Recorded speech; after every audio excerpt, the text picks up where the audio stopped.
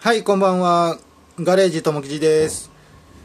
えっ、とね、今日は、この、えー31のセドリックのグランツーリスモですね、えーが出来上がりました。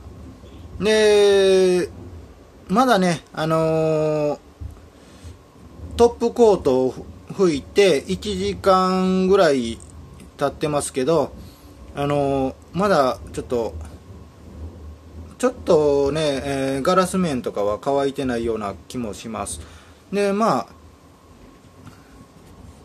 こういう感じにできてますね。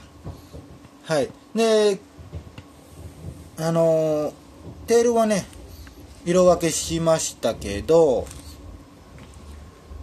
このヘッドライトはね、もう指示器のとこだけ、あ、ちょっとね、これ、バンパーのとこの指示器の色、僕、塗り忘れてますね。また明日ちょっと、それだけ塗ります。で、フォグランプも、あのーこれ、色、ね、黄色に塗るかどうか迷ってたんですけども、塗らなかったです。はい。で、今回は、あのーフィルムとか何も窓に貼ってないんで、全部見える状態にしてます。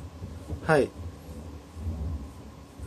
まあ、こういう感じで、あのー出来上がった紹介ですね。はい。